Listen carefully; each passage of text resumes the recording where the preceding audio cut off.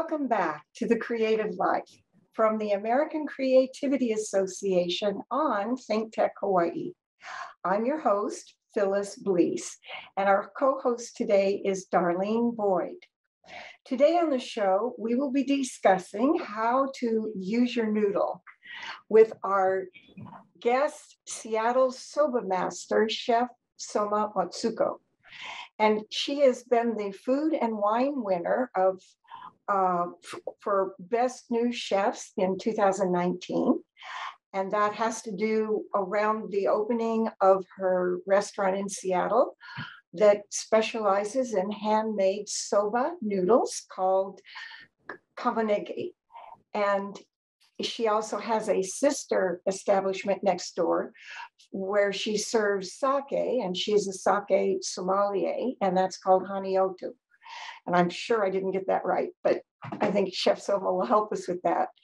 Today, we'll learn her approach to creative thinking in the food industry and in restaurants and why she won a major contest called Use Your Noodle, for which she made ramen noodles and new recipes and won a $50,000 award. Uh, you can send your questions to Chef Soma and the show today through email at questions at thinktechhawaii.com. So, Chef Soma, arigato for joining us today. Going to get a lot of English and Hawaiian, but arigato, aloha for joining us. And can you just explain a little bit about what soba noodles are and what makes your restaurant different and creative? So, soba noodle is basically made from buckwheat. Our recipe is 80% buckwheat, 20% wheat, and about 50% of water. That's it. No salt, no no egg, any, anything else. And our restaurant, every soba noodles I make myself by scratch. That means mixing by hand, rolling by hand, cutting by hand, which takes lots, lots, lots of time. I think that's uh, one of the reasons our restaurant is popular. It's like everything from scratch, everything handmade and love.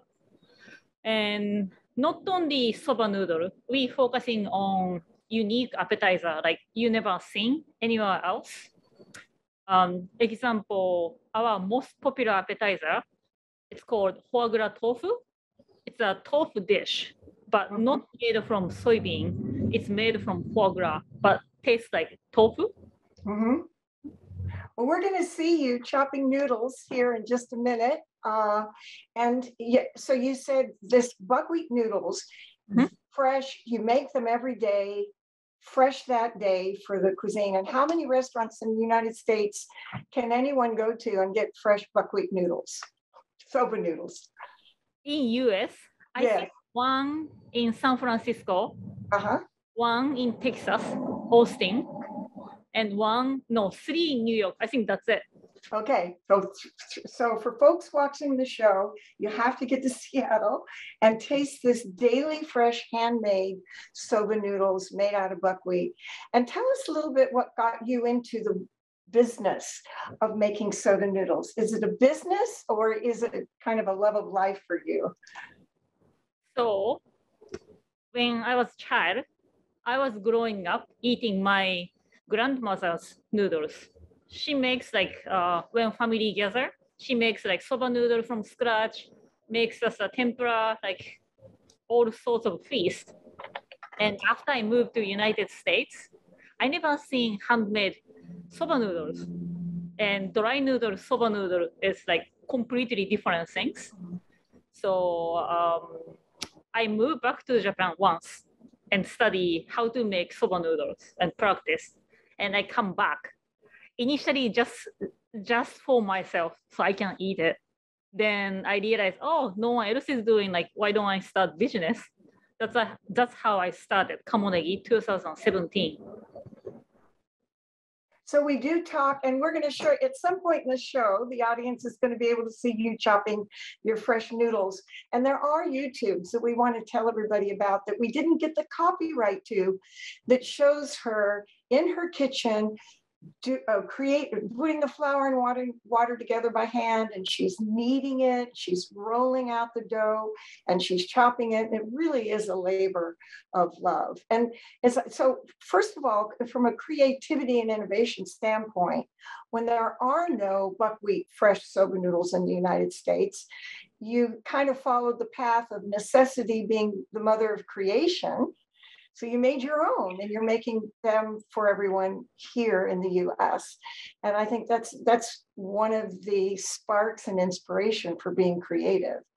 Um, and I and in the making of it, is this a um, it, didn't you say that it's a very changing art that every day with temperature and conditions you're having to change your recipes and what goes into it on a day-to-day basis because of weather mm-hmm. So it's not like changing recipe, more small adjustment. Like rainy day, like moisture level is up, so I have to add touchless noodles. Uh, sorry, touchless water. Mm-hmm. Or cold day, a dough get tough, so you get more water, like need more, like uh, atmosphere is not always same, so dough react every day difference. I have yeah. to touch the small difference to make adjustment. It, it, just sounds luscious. And Darlene, I know you have questions, and we're going to shift to those that you have and uh, tell the audience more about your creative style. So, uh, Soma, the last few days, and, and, since we've met you, I've been haunted trying to think of someone uh, that I had heard that it's been said that creativity is one of the most important skills for a chef. And I, I knew that, that I was somewhere and someone had said that. And it just came to me recently that it was Edward de Bono and it was after a meeting. And perhaps he was just trying to get a better dinner, but uh, he was telling us all the strengths of chefs, and that in his opinion, in his professional opinion, that chefs might be the most creative people that uh, will ever ever cross our paths. So that being said, you you our guests come to us in many different ways, but you came to us through the press where we noted that you won a contest mm-hmm. and the Use Your Noodle contest, which you won. Can you share with us your the soba making process that you used in, in that contest and uh, perhaps the recipes that, that you entered? Yeah, so technically this is completely opposite things. Like uh, I make soba noodle, basically same process. It's like a, a, origami, like you know, you, you have to hold certain way, certain certain way to make crane, right? This right. process is completely opposite. Like you like destroy everything, then um, you make from scratch uh, using a component of ramen. Does that make sense? Yes. Uh-huh. so th- this particular contest is is it similar to what we see on television in those cooking contests, or did you have to go somewhere, or did they come to your place? This was from uh, Instagram, so we just like uh, ah. tag them. Mm-hmm. Okay, all right. So so there was there's a creative, productive thinking skill that we wanted to share with the audience today. And it comes from many directions, but one of the books on creative thinking, this is a series of books by Dr. Joyce Juntune. And uh, it's a fun book, and she brings to our attention five different creativity skills to make you more productive in your creativity. And one of them is fluency, uh, another is flexibility, another is originality, and elaboration and evaluation. And I know you have a special way that you won this contest on using your noodle. And you, the way we would describe it in the creativity world is you used fluency. And fluency means, this is by Dr. Joyce Juntune, uh, it's thinking of many, many, many many ideas. Some people would call it brainstorming, idea generation. And I know you have many uh, ways that you worked with your ramen noodles. Did, was it 50 and you did it over a month? And let's have the engineers show us some of the many ways that you created new recipes to win the contest. So talk to us about that. Can you uh, enlarge the image? That'll have to be Sage. Oh. Sage, can you make it bigger? So like one, you see the bottom. I made uh, tonkatsu using noodle as a crust instead of panko. Uh, top one is chamushi using like a, a powder as a broth and made uh, egg steam custard. And ice cream sandwich. So I dipped in chocolate sandwich with ice cream. That was so good. Um, other one is pizza. I made so many. so brainstorming is just inside of your head, right? So I try to make actually things happen. So like I can taste it, I can feel. It's next step of brainstorming, but it's kind of brainstorming. If I make 50 different things, I can choose like top three. Okay, this is amazing. That's like how I create, like make a lot, then choose top things. When you said you tested, were you the only tester or did you have others on your staff taste and test or and clients taste and test or just you? Uh, this was during pandemic, so me and my staff, like we tasted as a like you know lunch. So now this, so what, what I was hearing you tell us the other day is you tried 50 different recipes over a month Mhm. of something new, and then you choose three, and those three make it onto your menu. Out of the 50, have there been other foods or um, types of cuisine that you did this process? I thought you said something about oysters, and were there other examples where you you you do this regularly in your process of cooking? yeah, I did it once with oyster, like 50 different way to cook oyster, but I did with uh, sake pairing. So like I select sake paired with that o- new oyster dish. Um, other things I did was hot sandwich maker challenge. Have you ever seen hot, ma- hot sandwich maker? Like when you use for like camping? Okay. Uh-huh. So I cook, Similar to a panini grill or, yeah, yeah, yeah. okay. So I didn't cook sandwich inside of hot sandwich maker, but I cook something else, like 50 different way, like scotch egg or like sushi, uh, okonomiyaki, hmm? gyoza, yeah, lots of different things. All right. Well, I think this is this. Uh, uh, Dr. Juntune also wrote another book. I didn't. I don't have it with me, but it's called "Creativity Thinking with Foods," and maybe we'll have you know we'll have another show with mm-hmm. that. But this, what we really wanted to let the audience know is, I mean, it's very creative and fun to hear just about the food in the restaurant, and we also want to know what those skills are that we can all go and access ourselves to be more creative. And I think that it, you're doing, you have a very big demand on your day. I mean, you probably work almost six or seven days a week, long hours. You're the owner and the, the chef, isn't that right? Mhm. So this is keeping you very much on your feet, but also as you're doing so, you're not creating a routine where you do the same thing every day.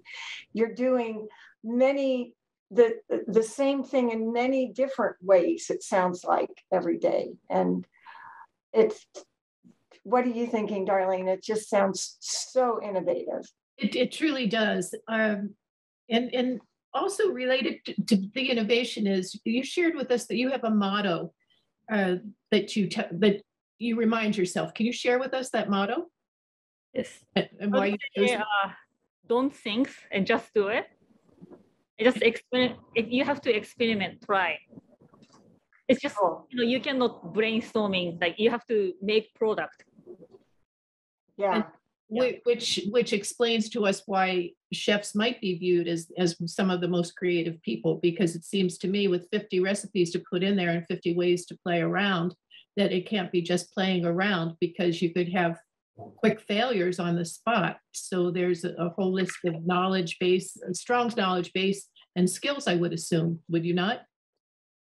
You mentioned that you had gone to Japan to study first before you went through this process. Yeah. You also told us a story about your grandmother. So the roots of your studying and playing around go pretty far back, are deep rooted, aren't they? Mhm. Mm. Yeah. Well, you remind me, Darlene, I wanted to, if we had time today, to talk a little bit about your expertise with sake.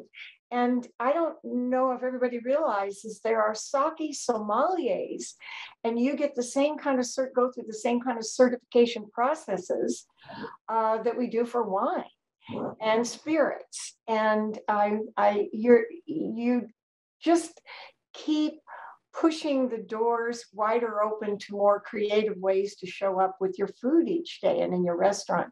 So tell us what it means, first of all, to be a sake sommelier and what sake means in Japan, coming from a very Buddhist Zen background. How did how does that get brought into the culture in Japan? So uh, my sake bar called Hannyatou mean wisdom water. So Hannyatou is Buddhist word for wisdom water. It's like back then, monk thinks like if you drink wisdom water, make you think more, make you uh, smart. so I want people to drink sake to, you know, you think better and be smarter and be more creative. I love that wisdom water. So what is that? And it does that what sake doesn't mean that, right? What how would you say wisdom water in Japanese? Hannyatou. Oh, that's the name of the restaurant. All Yeah. right, all right. I knew we'd get a real clear phonetics and also understanding. Hannyatou Mhm. is wisdom water in Japanese, and then you're serving sake for that. So there must be many different ways to. I know I'm in a wine tasting and investment club, Oh, wow. and we had sake twice was the what we what we did our wine tasting. And i was so surprised to learn that some of the most expensive sakes were served cold. And growing and growing up sort of in hawaii and spending many years there i only got it served hot in little hot sake dishes. So could you tell us a little bit about the cold sake versus hot and the, you know how to add these to your meal or to your week. So some people think hot sake is bad or cheap sake or like more happier drink, but that's not true. Um, sake is only beverage you can enjoy besides tea. You can drink cold to hot, and there's Yeah. so many different type of sake. Some sake better showcase cold, such a daiginjo type, like daiginjo, like more high end, like more fruits forward, like clear sake but uh, like Kimoto style sake, more old style sake, tastes better warm or hot, tastes more umami. So it depends on like what you like or what's your preference. They're both correct way to drink sake. So Soma, are you part of a community of chefs? And if so, do you do you all gather in your sake bar and gain your wisdom? yeah, Do I you, do too much. have, do you have other chefs that you can regularly discuss and bounce ideas back and forth? Huh? Interesting. And um, well, I, I I wish we could do a sake tasting here and and have you take us through the delights and the variances of the different tastes. Um, do you pair your sake with different ch- chosen soba noodle dishes, or are they? Does it go with anything, or the other dishes that you make from scratch at the restaurant? Most of the dish goes well with sake. hmm And also I have different type of sake at restaurant and more here. You know, like some people think fish doesn't taste great with red wine right? But fish or like any seafood is amazing with sake. Like example, people like eat sushi with sake, right? Just because sake doesn't have any iron, so doesn't like fight like iron on fish. So I think any any any sake you choose from our bar or restaurant tend to go well with everything. Oh, fascinating. Well, you know, one of the things I just got notice from the engineers, I think that I would like the audience to see you doing this homemade soba noodle, buckwheat noodle making. And there will be a silence when we're showing it, but I think that would be absolutely appropriate to have a sacred silence as we watch you doing the handmade noodle making. So Max, if you would uh, bring it on, we'll know that it'll be a silent few minutes watching this ancient art of soba noodle making. Thank you.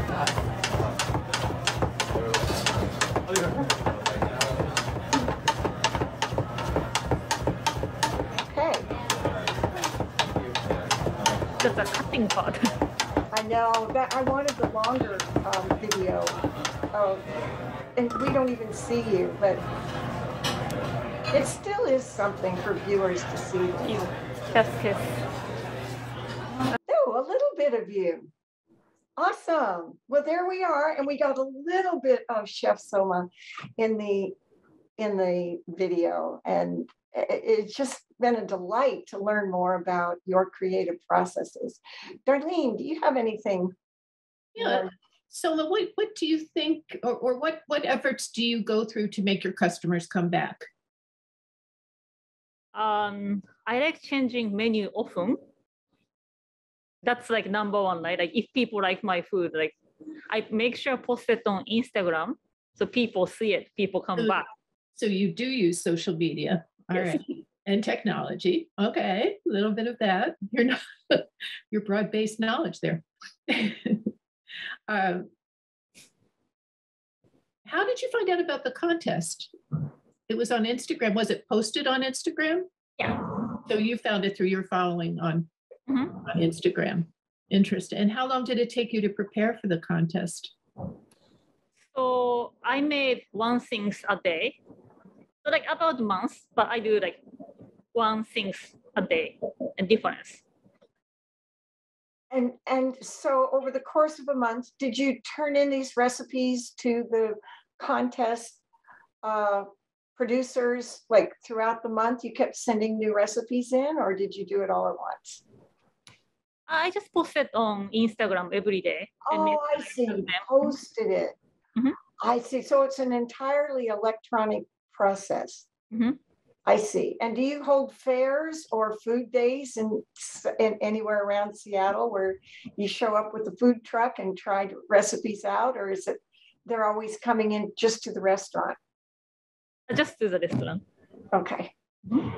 So as an art, uh, you were talking about your daughter and that you were hoping that she would learn this art of soba noodle making.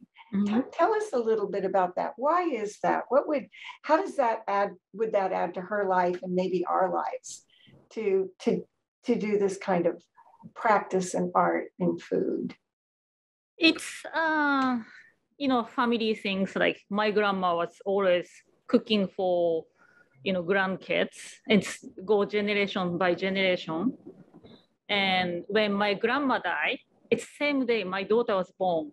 So like I felt like something like I should teach her soba noodle too. So you know, hopefully when she became mom or she became grand grandmother, she can teach grandkids or kids how to make soba or, or at least like feed them soba.